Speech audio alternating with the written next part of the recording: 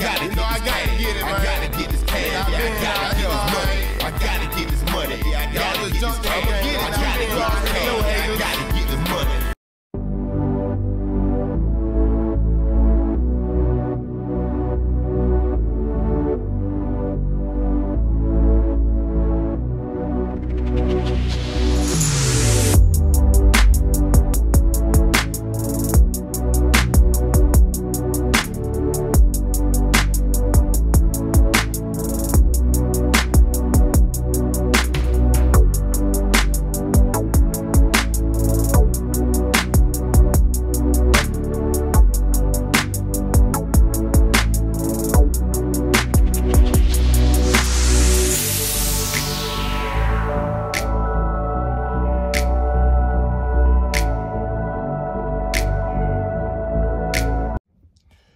Now, every now and then you get some dumb luck and everything will go your way. so I delivered this morning, picking up at the same place. I've only had it happen. I've been at TMC four years. I think this will probably be the second time this happened. The last time I was in uh, Ohio and I delivered and I had to go like two miles to pick up uh, insulation from Owens Corning.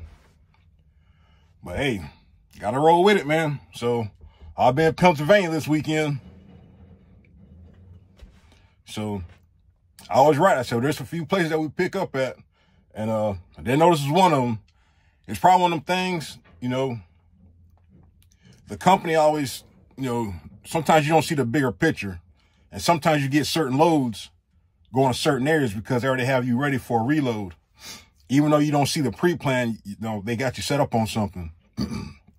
so sent empty in. I was putting my stuff away and I looked up and I seen the guy where I checked in that. He was like, come here. And he was just waiting for me to look up because of course he couldn't beat on the window. I wouldn't hear him. He's like, did dispatch send you a, a pickup? I said, yeah. I said, stay right there. I'm going to load you right there. So I was like, okay, cool. You know, but now the only unknown is if I would have delivered yesterday, if I would have got the same load. Okay. Cause sometimes TMC sets the appointments up a certain way so you can reload, you know, and have no issues. Sometimes like how this worked out this time. They already knew a driver was going to be in the area and, um, dispatched me on this load right here. Now, sometimes it don't always work out like that. I've delivered one place before and the guy was like, are you picking up such and such? I was like, no, sir, I'm going somewhere else. He said, we got a pickup for TMC, but you know, I said, I, I have no idea. I said, you know, uh, you know, logistically, hey, they, they, they're doing it for a reason. All right. But I think, um, I think I was, I think I was going home that week or something like that. So I pretty much stayed in the area. No, I have no idea where that load was going, but sometimes you got to see the, you don't see the big picture. So this one, whenever you can go less than 30 miles to pick up is awesome. When you get to go zero miles and reload out of the same place where you deliver, it's even better. So like said, I'm just waiting for to get, uh, um, get loaded and go from there. Like I said, uh, this place, the reason why they say no parking, they've got a whole bunch of tow signs out here. Even though it's a big old area. I mean, this place is huge. It's actually huge. But um, it says no parking. So you will be towed. I mean, it's got signs everywhere. But I guess they're trying to keep it clean. But either or, the the Love's is four miles down the road. You know, so I'll know for next time I'll make a note. I'll make sure I leave a um a review for this place and let them know the deal. Because the other guy that was before me, he was two hours late. Now, you know you got an appointment. You might want to try your best to get to your appointment. I mean, sometimes they're flexible. Dude was real cool about it. He just said, no, he looked on his computer like your appointment was for six. And guy was kind of looking around like he knew he was late because he pulled up. I pulled him behind him and he was walking really, really fast trying to check in. So I was like, like whatever, man. But after he checked in, the guy was like, yeah, you know, your appointment was for six o'clock. So miles for eight. I got unloaded like within 30 minutes. Um, this place, like I said, had mixed reviews, but no complaints here so far. Um, yeah, man. So we're gonna reload the wagon and we're Pennsylvania bound. Chocolate City, uh, Hershey, Pennsylvania. No, we're going to New Holland.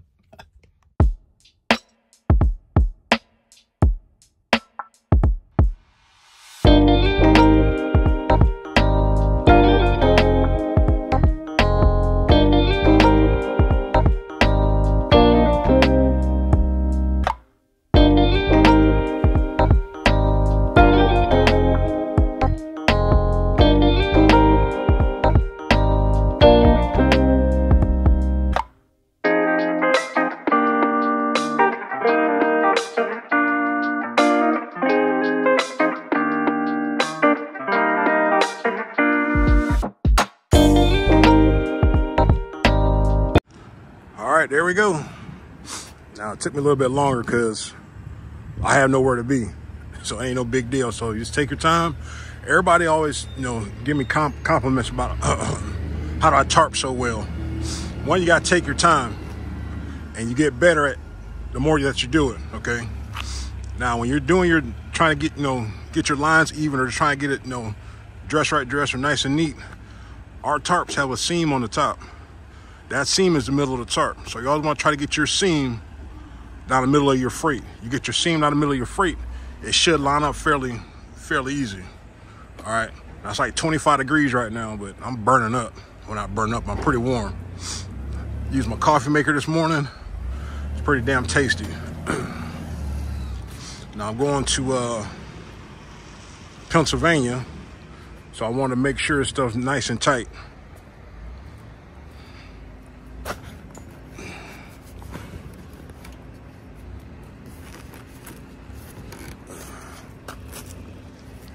Put another bungee on that.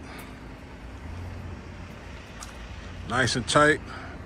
Now also, to get it tight, I tighten my straps last. So you got everything nice and snug. You do your bungees, and then you go back and you tighten your straps, and that's how it gets, it gets tighter.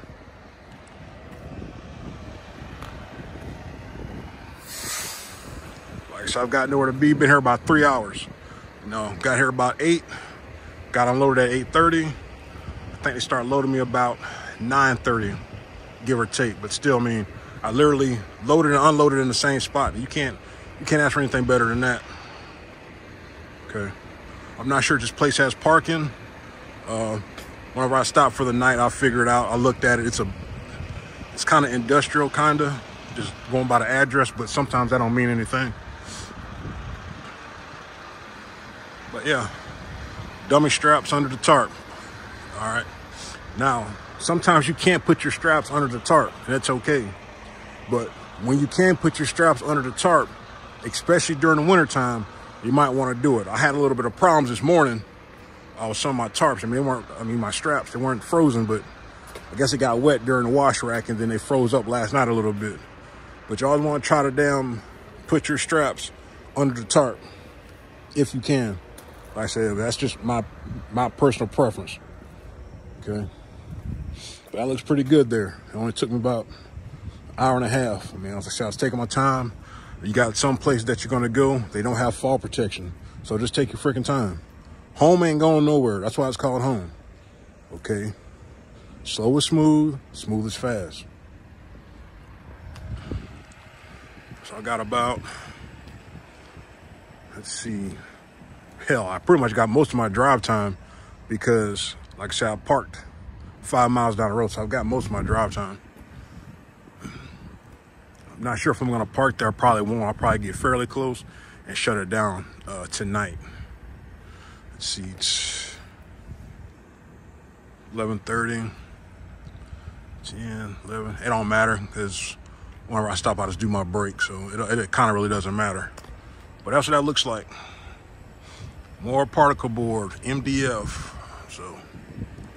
Medium density fiber board.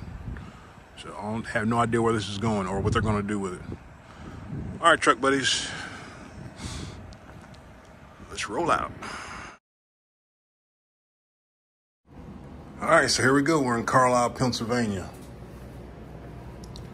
Now, truck stop's right across the street. Man, it's a freaking. The one time I stay out, it's a damn uh, winter advisory. Now, the winter advisory, ironically, where I'm delivering to is outside the winter advisory.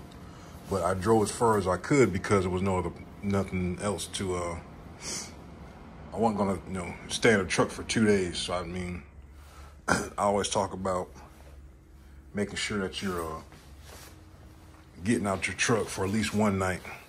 Now it's gonna be snow tomorrow. Four to eight inches. so as you can see, no snow.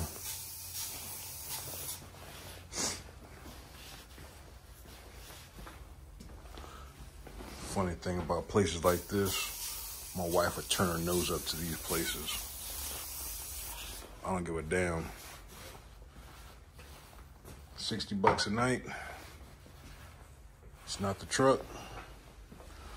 Got a TV, refrigerator, microwave, shower, toilet.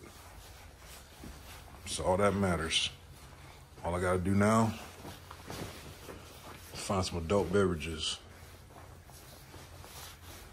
It's been an uneventful day, thank God. It's Friday, but I'm definitely surprised that um I came this way. Was definitely not expecting to come to Pennsylvania or anywhere in the Northeast. And like I said, there there's a damn storm warning or winter winter advisory. All right, truck buddies. and I are not the only ones that had a key to the house. There was a key that the kids had. Dre weekend. Airborne trucker signing off.